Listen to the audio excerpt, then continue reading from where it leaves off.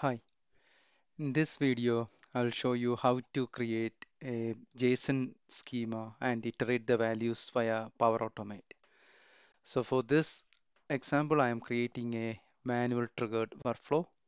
Next step I'm going to add a compose and for the compose I'm going to map an example of a JSON file schema which I have got here. There we go.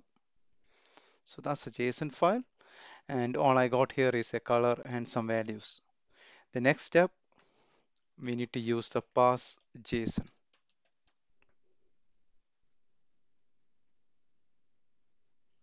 Okay. So the, the content is coming from the previous step, which is my example data, which is the compose. So I'm going to output that mapping. Then click on the generates from sample and just paste that, you know, your sample schema of the uh, JSON data.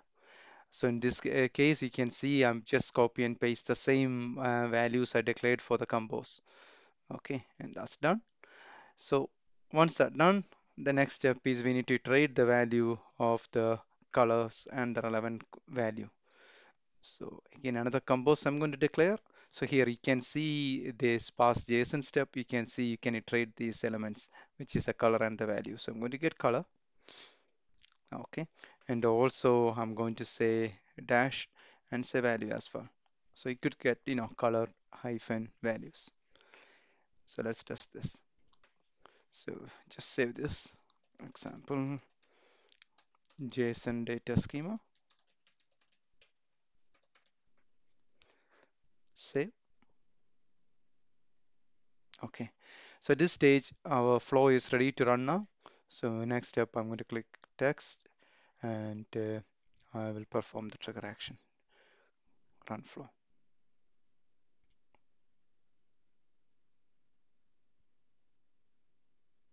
Okay, so this stage the flow is running and it's executed the combo statement. You can see that, which is, you know, just the hard-coded values here. And the next step, we have the parse JSON step, which I'm mapping from the previous step. And that has declared, uh, you know, the content as that.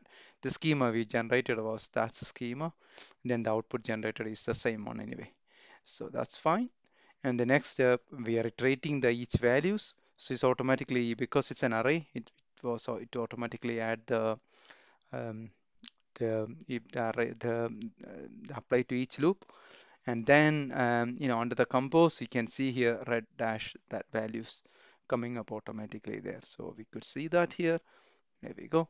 So that's what you, and you can see that red dash hash f00, then green and the black. So if I iterate next, each and every step, you can see the relevant values has been executed.